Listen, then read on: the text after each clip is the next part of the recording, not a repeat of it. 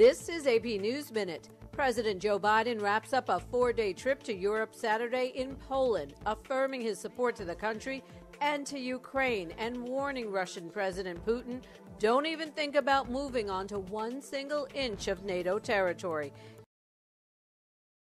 He also met Ukrainian refugees. Biden announced a billion in additional aid this week and said the U.S. would accept up to 100,000 refugees. Meanwhile, in neighboring Ukraine, black smoke could be seen billowing behind buildings in the western part of the country where explosions were reported.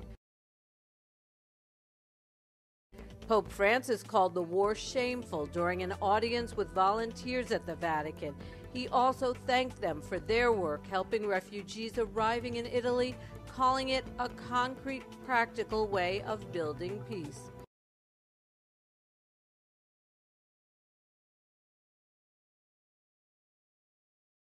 Afghan women's rights activists staged a protest in Kabul against the decision by the Taliban government to close secondary schools for girls. Protesters, including students, took to the streets demanding their right to education be respected. Julie Walker, Associated Press, with the AP News Minute. This is AP News Minute. President Joe Biden wraps up a four day trip to Europe Saturday in Poland, affirming his support to the country and to Ukraine and warning Russian President Putin don't even think about moving onto one single inch of NATO territory. He also met Ukrainian refugees. Biden announced a billion in additional aid this week and said the U.S. would accept up to 100,000 refugees.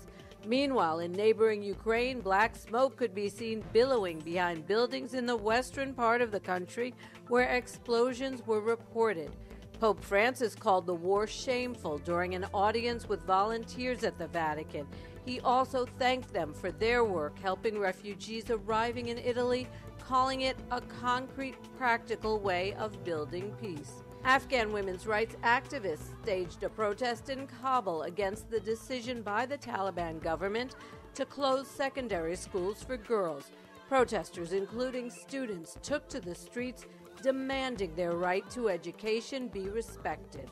Julie Walker, Associated Press, with the AP News Minute.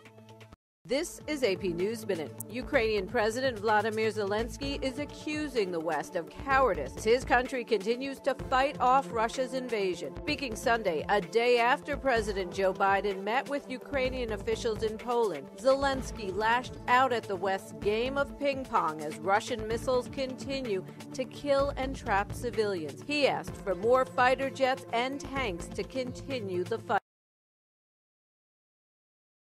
U.S. Secretary of State Antony Blinken said the White House does not have a strategy of regime change in Russia. He made the remarks in Jerusalem Sunday. The senior official was quick to stress President Joe Biden was not calling for an immediate change of government in Moscow when he said in his speech, For God's sake, this man cannot remain in power.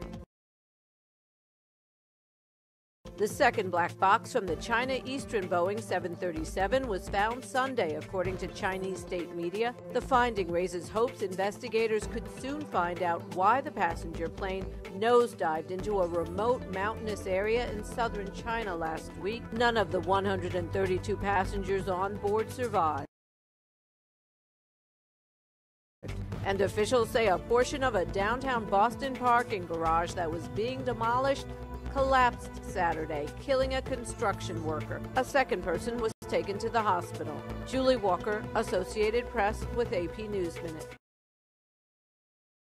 This is AP News Minute. Ukrainian President Vladimir Zelensky is accusing the West of cowardice. As his country continues to fight off Russia's invasion. Speaking Sunday, a day after President Joe Biden met with Ukrainian officials in Poland, Zelensky lashed out at the West's game of ping pong as Russian missiles continue to kill and trap civilians. He asked for more fighter jets and tanks to continue the fight. U.S. Secretary of State Antony Blinken said the White House does not have a strategy of regime change in Russia. He made the remarks in Jerusalem Sunday. The senior official was quick to stress President Joe Biden was not calling for an immediate change of government in Moscow when he said in his speech, For God's sake, this man cannot remain in power.